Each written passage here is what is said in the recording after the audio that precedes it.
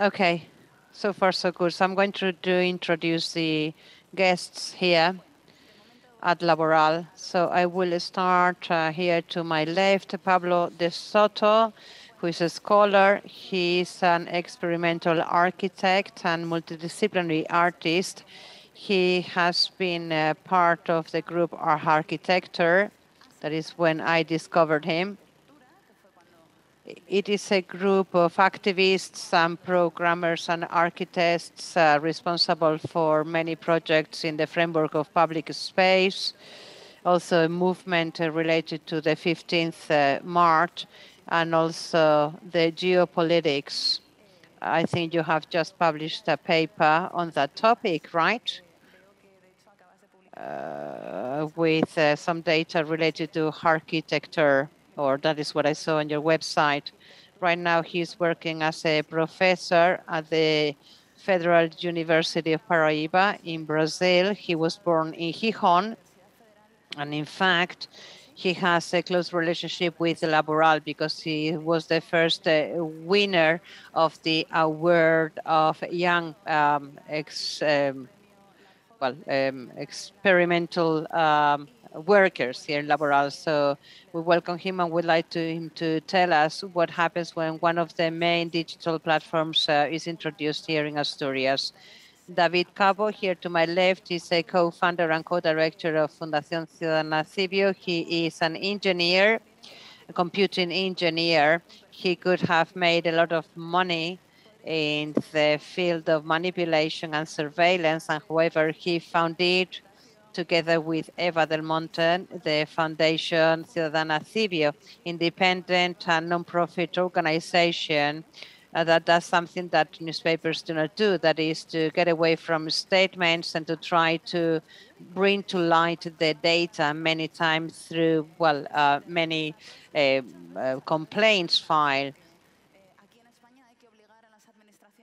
And uh, he has many projects for example, uh, Donde van mis impuestos, uh, which is a platform to visualize the budget of public administration, the Indultómetro, very popular, an analysis of all the indults in Spain since 1996. They have done a lot of research of public uh, contracts, for example, ¿Quién cobra la obra? Uh, Medicamentalia that is uh, related to health access, and now they are trying to access the data of uh, funds of the power companies, a very hot uh, potato topic.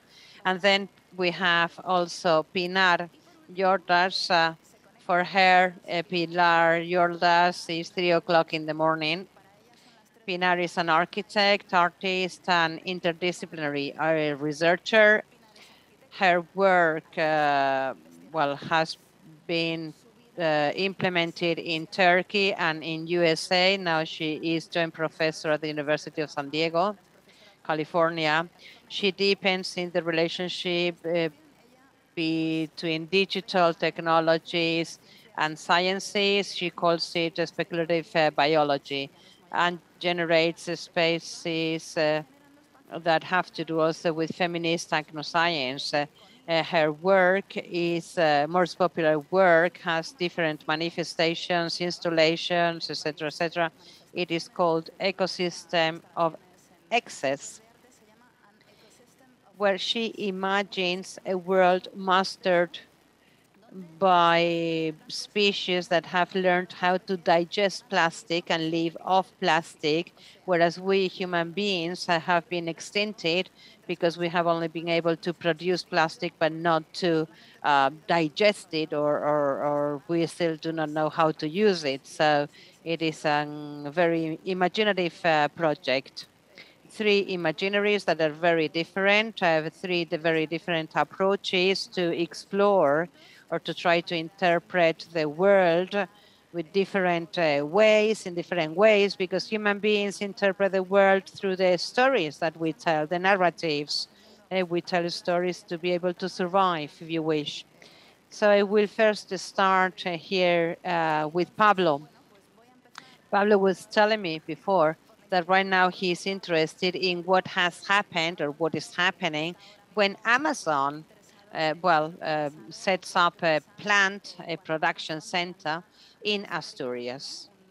Yes, thank you very much, Marta, for the introduction. Thank you very much to Elena and Patricia for, from Laboral for having invited me to be here this morning.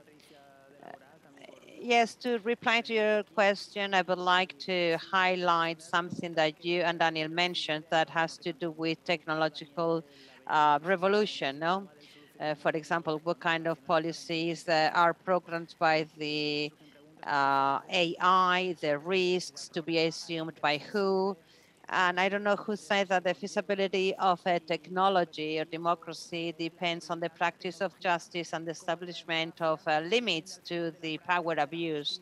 And Crawford, who is like a reference no, in these topics, says in his book, Atlas of AI, that suggests in democratizing AI to reduce power symmetries is like uh, trying to argument uh, uh, or democratization of weapons uh, is focused or, or is at the service of peace.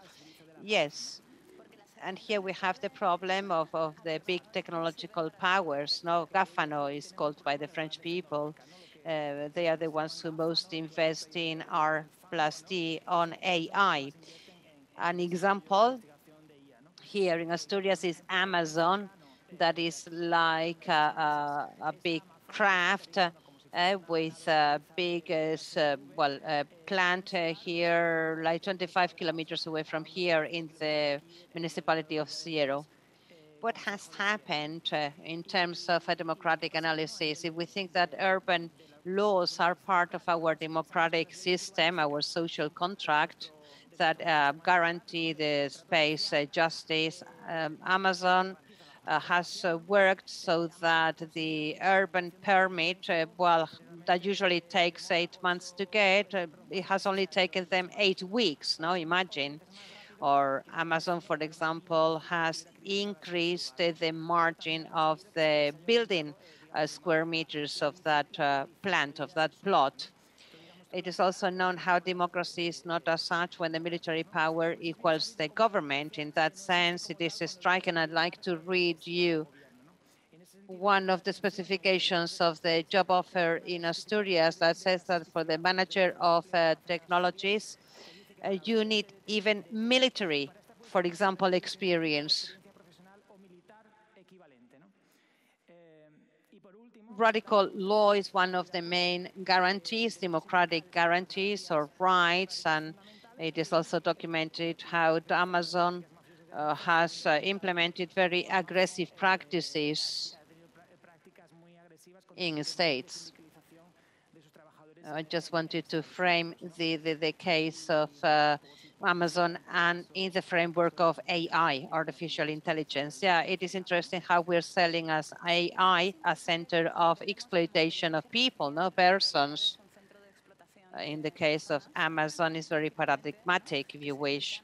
Contact of workers of Amazon with AI is that the boss is an algorithm it is not that it is an algorithm learning things from them, but rather it is a tablet that they carry and that tells them where things are located. And as the warehouse of Amazon, that is where they uh, well store products that then we buy through Amazon Prime and they deliver for free. They are placed in such a way that they facilitate work to machines, not to people. So the same as if you go to a shopping center, Corte Inglés, uh, you have all the toys in one corridor and all the kitchenware in another level, separated from the, I don't know, glasses, no, that they are somewhere else. So um, they follow a logic order, if you wish, no? For us, for human beings, we find it very, very reasonable, no? You, you go to kitchen to one place, uh, to clothing to another place, but in Amazon, everything is organized uh, uh, as uh, products that are um, bought together for whatever reason.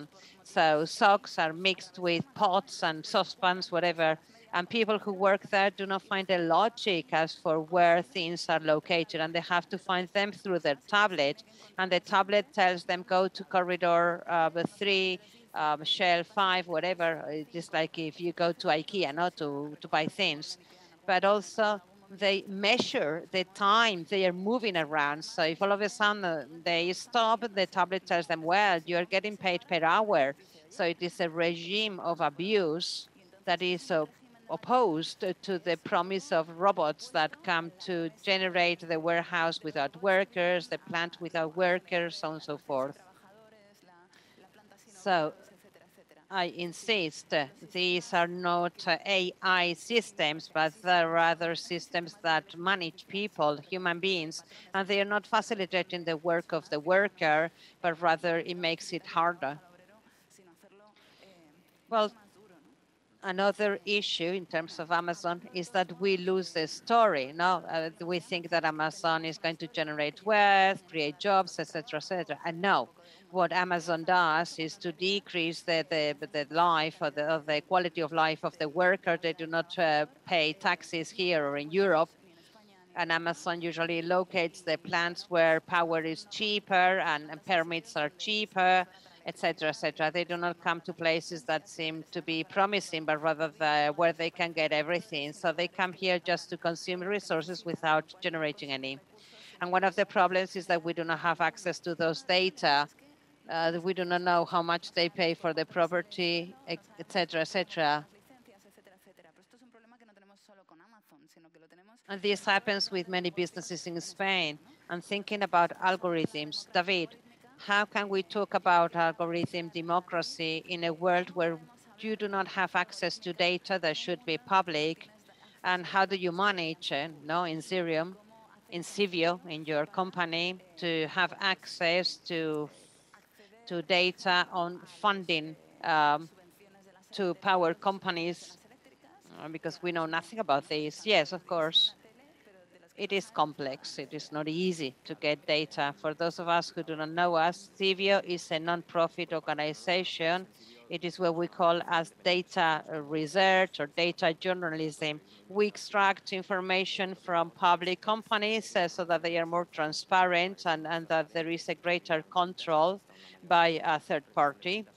And this is what Marta mentioned uh, at the beginning. And we try to well, uh, look at the legislation framework now that uh, kind of protects us. In terms of the topic of this panel, AI, there is something that is called a social bonus or a social uh, uh, bonus or a primer for some families that do not have a, a, high income, they can have some help to pay for the power. We identify that this program that uh, should, well, get to four or five million of uh, families in Spain that have some problems to pay for power. However, only between one or 10% of people are really accessing this discount. Why? Because the process is too complicated, and there was a program in the middle that decided that if your application form, well, application form, you do not send it directly to the government, but rather to your power company. They do not care if they give you the discount or no, of course. And it is a very complex system, and we try to help. Uh, uh, citizens now also help them by by trying to simplify the forms how to fill in the forms etc etc and you have to take into account as well that this uh, funding uh, targeting elderly or people with a low income or very low level of education, uh, people who, well, have a fewer skills now to handle all these forms. And the NMC, they also had problems to understand the process. So it is a very complicated process, no? So when we started to work with the families, with the citizens to try to help them out with our calculator, uh, the problem is that this program, that is another example on how traditional processes are digitalized, how the processes of uh, fund granting uh, become electronic processes. There is a program making the decision instead of a civil worker deciding whether or not they're going to give you that money, that uh, discount or that fund. There is a program that makes the decision whether yes or no, you get the discount. So looking at all these issues, um, pro, um, problems, we fabricated, quote unquote, an online calculator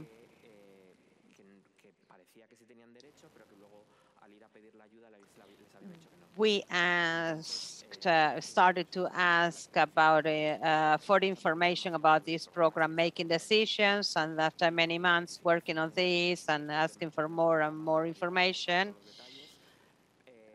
we were able to demonstrate and prove that there were problems embedded in the program making the decisions. And some people who had the right to that funding, the program was rejecting that funding. And that generated or resulted in many problems uh, to those citizens that had problems even filling in the form. All of a sudden, they get a letter uh, that says, Well, the program cannot decide. I'm so sorry. And for us, uh, well, that was very important, no?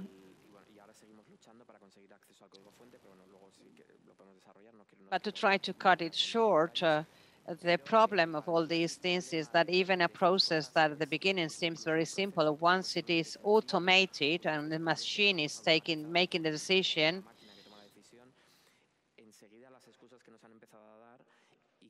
they start saying the excuses. No, they give us excuses. Well, that is technology. Well, that is another thing. We cannot explain that.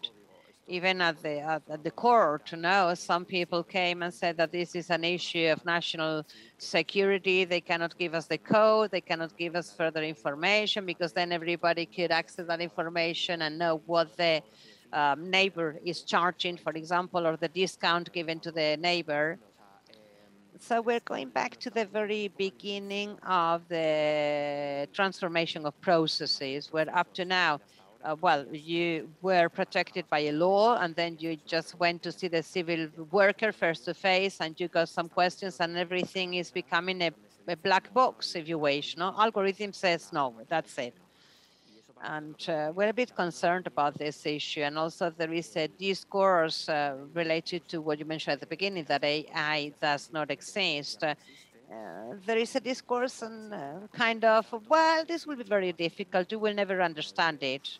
And I am here to say this is not so difficult. You have some rights as a citizen, the right to get to know information. Eh? and those are your rights, and you have to enjoy those rights. So our fear or our concern in terms of democracy and AI, artificial intelligence, is that everybody is excluded and people say, well, this is only for experts and not for the common um, citizen. Or if the machine has said this, it cannot be wrong. Are you going to know more than the machine? No way. So the feeling is of false or fake objectivity. I don't know whether I am answering your question, but the problem is that traditional mechanisms that were already working very badly when getting information on public uh, contracts, funding, etc., etc. In Spain, it is a torture, it's a nightmare. And you have been working on that for many, many years until you get to court to try to get some information. This is already working very badly. And once you introduce all of a sudden AI, when there is a machine, all in the middle, everybody raise their hands and says, ah, this is a black box. Ah, I don't understand this. Ah, this is what the machine says. That's it. And this is uh, very concerning, no? Because instead of making things more simple, they are transforming things into black boxes. Nobody wants to assume responsibility. And it seems that the decision was made by the machine. It wasn't me. Now this is my watch that is getting activated. Very timely. Yeah, yeah. The problem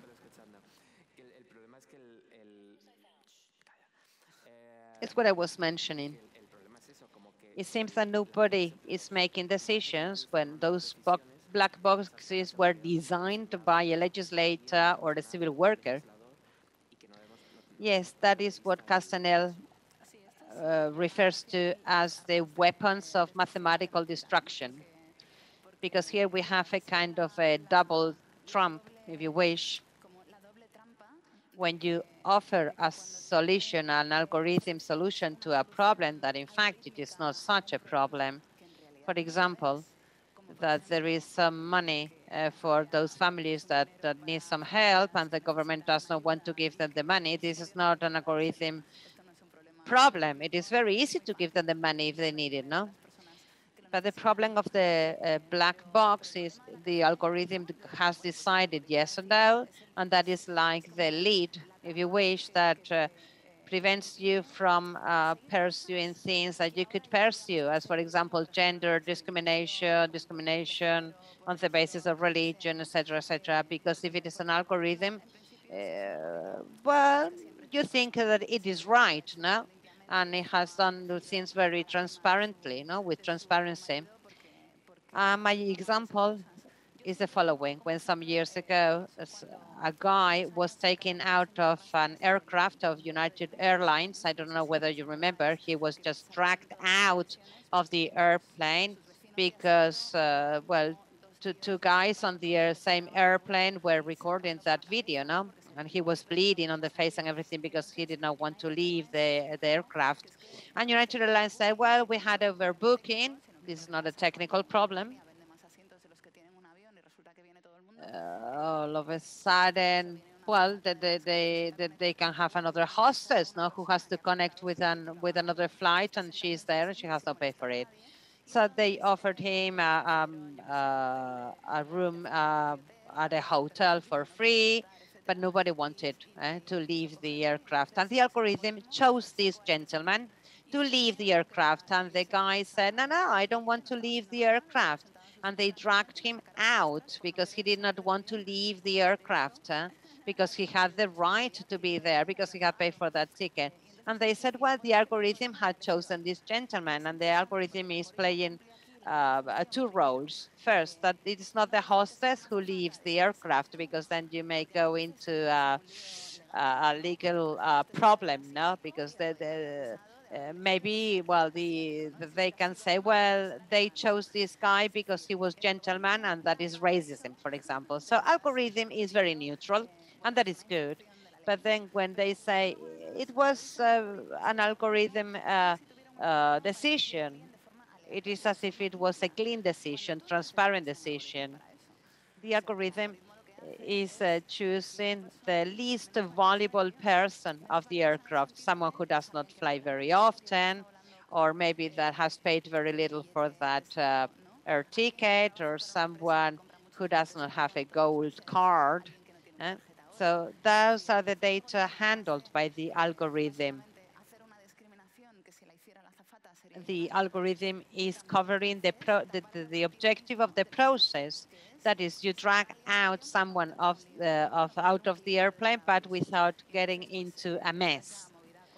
Yes, and a private company, well, faces other problems. We, we work with the public entities now, and for us it is unacceptable. You cannot not assume your responsibility as a civil worker and say, well, that is uh, the machine's decision, and that's it if in the end a process or a machine is deciding whether or not you're going to have a discount in that power bill, you need to know information on the basis of what you got or you did not get that discount. Some people say, no, because it's very difficult, it's very complex, uh, that is all done by the machine. And that's why they do not want to publish the taxes you have to pay, etc., etc. If laws are public, well, that information should be public another topic or another topic for discussion is the following. Machine learning, ML, it is like money laundering, but with a bias, no?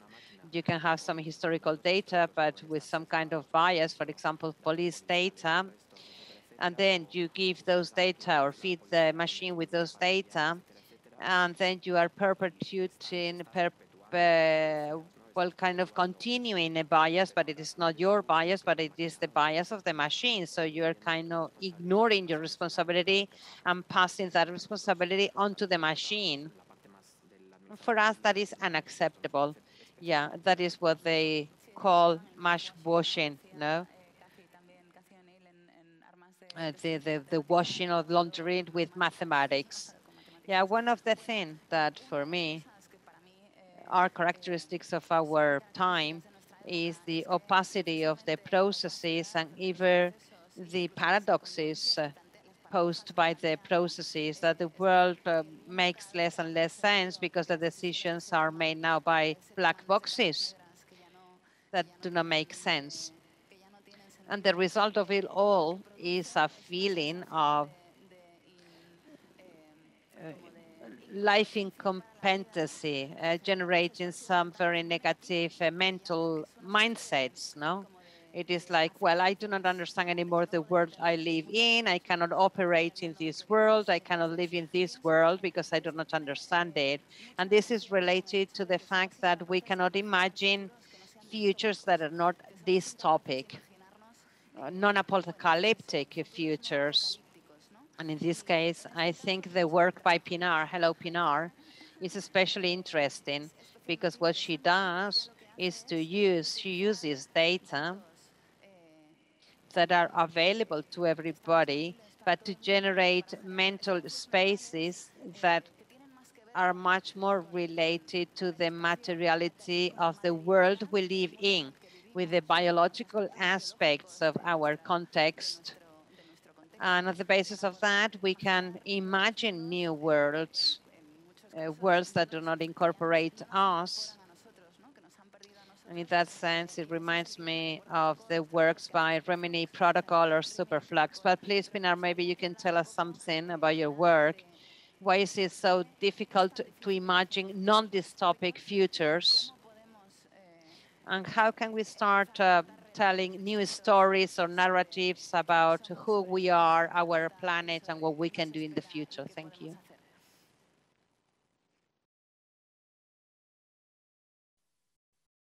Uh, can you, so do I speak in English and can you hear me okay when I speak? I'm sorry, it's a little bit of a weird setup for me. Yes, so can we can hear you. Okay, great.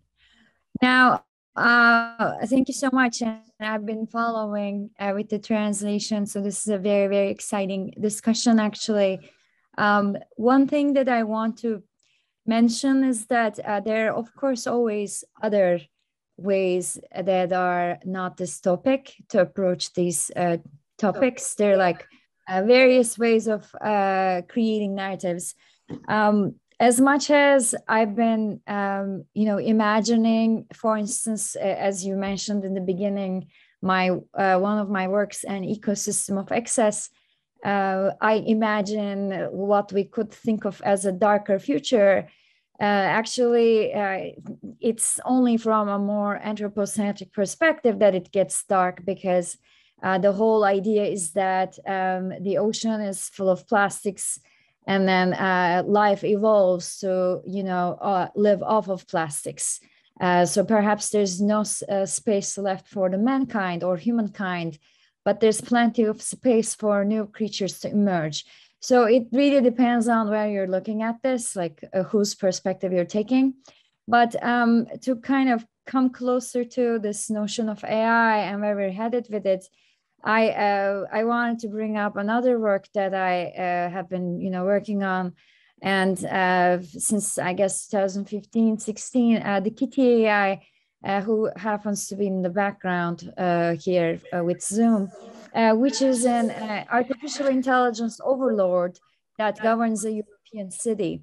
And in a work like this, I just wanted to kind of push the question to the limit. Uh, you know, okay, uh, automation and AI are already, you know, super active in how we live our lives. So as this is a global phenomenon that's already happening, there's so many artificial intelligences that are invisible to us. They're already at work. But what if, you know, AI starts uh, gaining positions or uh, getting, um, let's say, a, a, certain type of social status that wasn't available to it before, such as, you know, uh, roles in governance, and ultimately, uh, like a leader, like NAI becoming a world leader. Of course, I was inspired by um, Watson by IBM, which was, you know, kind of becoming more and more popular around 2015, 16. And as I kept watching the ads for uh, Watson and how, you know, it's integrated in um, education, transportation, fabrication, like all kinds of healthcare, like, you know, there's this big premise that Watson's going to be there for us to build our data driven uh, future. But at the same time, um, the question is um, basically one about who gets to have this power, right? Uh, when we have something like uh, Watson that can process all this data that wasn't able to be processed before. And um, then another thing that grabbed my attention was uh, the fact that most AIs, you know, I'm not talking about their uh, literary or, um, you know, Hollywood representation, but most of them that we actively see uh, do not have, uh, for instance, uh, a face or a way through which an interface through which we can uh, perhaps, you know, humanize them. So I was really thinking about the lack of emotion in AI research, uh, how affective computing would change the way uh, we interact with AI. And honestly, um, back to your question, and I think I'm going to stop after that. If we are to imagine a less dark world, right, um, then uh, I think the path that involves emotion and the path uh, in computing, of course, I'm talking about design of uh, artificial intelligences and how we're moving forward with them, designs and approaches where we actually, um, you know, give them um, other uh, thinking cap capacities uh, would be the only path for uh, perhaps a more comprehensive, more realistic, and less dark version of it. Yes, thank you so much, Pinar. I'd like to ask you, all of you, thinking again about what Pinar has just mentioned. Now, Pinar was offering uh, that kitty, no, new entities to imagine futures mastered by uh, AI and that are less threatening than the futures we can think of right now, no? And they offer other options, no? More emotional emotion, uh, emotional futures, no? Instead of those of Amazon, no? For example, and those workers. And I would like you uh, to tell me, how do you imagine or rather, what are the transforming ways in which in your disciplines, architecture, data analysis, uh, journalism, which way art could push forward those new realities, those new futures Pinar mentioned, no? What could we do so that that world dominated or mediated by um, IA is less threatening and more creative? Well, we have gone into the happy passion world, no, which is much more entertaining. I would like to share with you a slide, maybe you can show it, that illustrates a little bit uh, the question of how IA can, well, uh, help us create a new world, no? More positive. Some examples, the first one is the one of uh, multi-democracy that comes from the MIT. It is a fascinating entity, but also a problematic idea. The idea that we can have some kind of digital twins. It is like an assembly eh, with those votes, uh, kind of a software players that would be trained to be our virtual representation at the assemblies, at the parliaments. So our uh, appointed uh, representative would uh, be trained to vote because they would know exactly what we think about anything they are handling. This is happening at the stock exchange. At the stock exchange, there are no people shouting eh, on the phone. Yeah, and what is interesting about this project that is about to, to be launched is that they say that the algorithm used for those predictions would be chosen by each user in a free market, a market uh, free, open of algorithms. This is very interesting, no? that the population uh, will learn about these topics, no? that it's not so simple. So this has to do with pedagogy. And Rimini Protokoll also puts into practice as an interactive theater what could be the mental democracy with that project called Stage, they imagine humanity as the cloud of IA that has been able to reduce environmental problems, reduce violence, etc., etc. Another example, more related to Spain, the importance of technopolitical spaces where you give response to some questions on why technology and how. Uh, we have a project called Decidim by Decidim, by Decidim uh, in Barcelona 11,700 proposals, and they are seeing how to use IA to improve the system of open code. How participatory budgets could be optimized by using algorithms. They already implemented a pilot project at the example with 500,000 million euros. And thanks to that algorithm, they, well, made a better use of that money. It is a very small project, a very small experience, but I think it's very useful. No?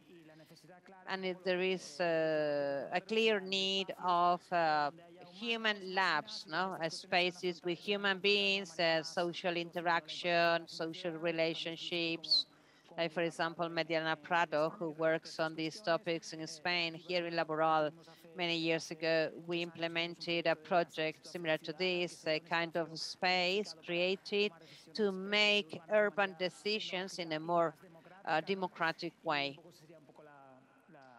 The Decidim is working on a level of code, but they also have a kind of a digital code that uh, takes advantage of the figure of the Ateneo of the 21st century, but uh, in a digital way. We need to get all together to learn about these algorithms. Yes, this fits in with uh, your project called Where Do My Taxes Go To, no? I remember one year The Guardian also illustrated something uh, in this regard, no, where all the money collected went to, no? All the uh, taxes. Access to data in UK, I think, is greater. They have a transparency law that is very strict, uh, and you do not need to go to court, no, to get information on data, public data. I'd like to ask you, and we only have seven minutes left, uh, what are the tools of AIA that could assist you to provide the citizenship with more data? What tools do you have at hand no? Uh, to try to forget what the politician is saying or telling and to tell really what they are doing? No? What are the tools that we could use or we could make up or we could invent or maybe someone is using these tools in an effective way so the citizens are better informed. I think that for citizens to be well informed, uh, we need uh, the journalism. 10 years ago, there was a kind of a utopia. Uh, people said, well, with open data, people would go home and start inspecting and looking into data and data. Data, that's not true. You get home and you're tired and just have, just have a beer, right? But uh, there should be an entity, or for example, us, uh, who could uh, look into those data. So that is where our struggle goes to. We need the raw material to uh, investigate. So, for example, if you are concerned about the warehouse of Amazon, you should be able to collect those data. Okay, so we want the raw material to be there for everybody.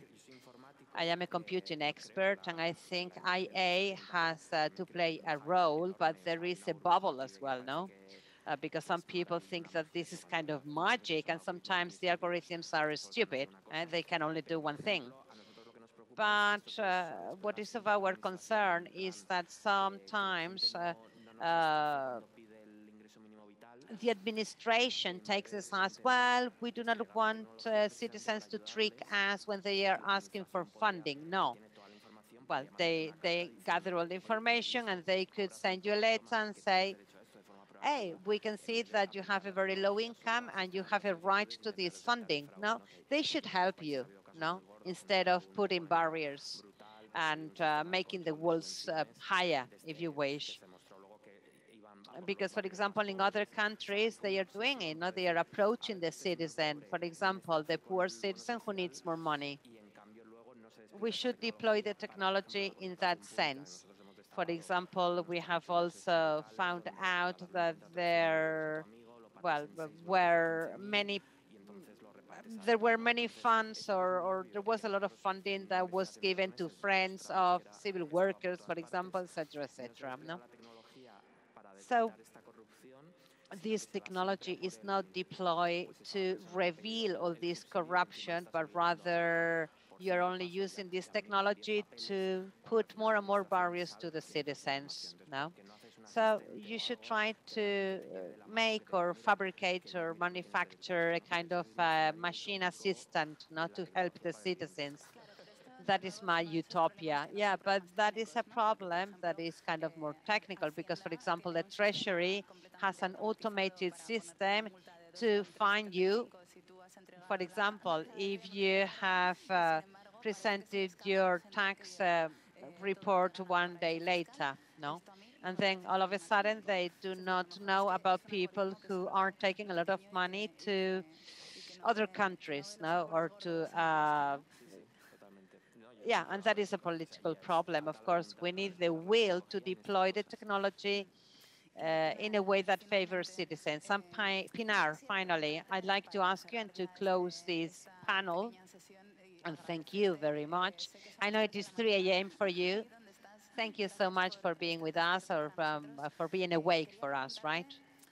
I'd like to ask you, Pinar, what are the main aspects of your Kitty that improve life of people? Sure.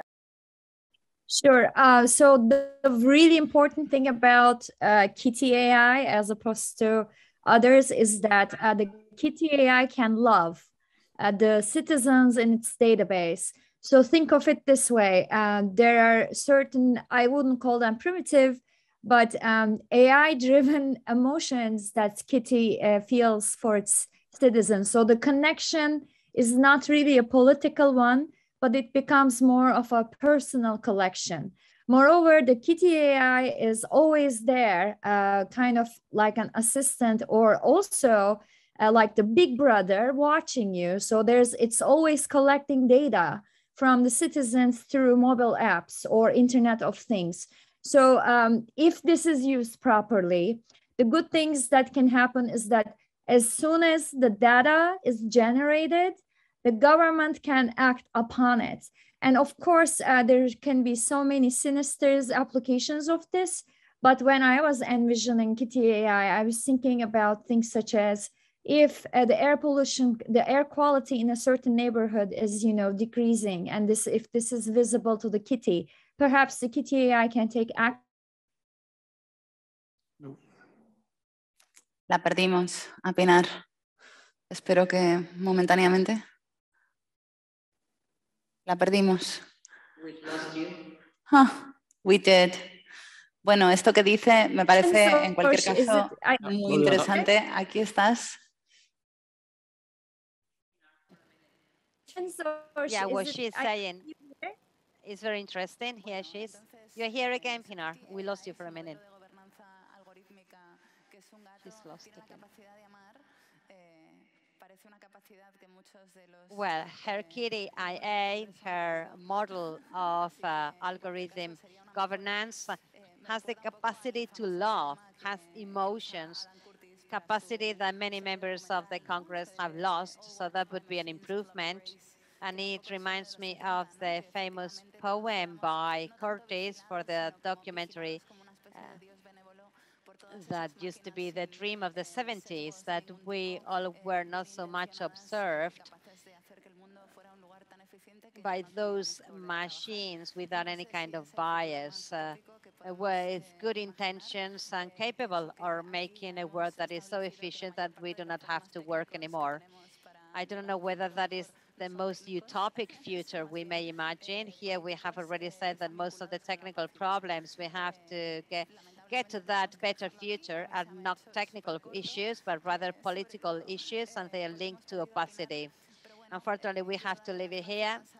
It is already 2.30 here in Spain.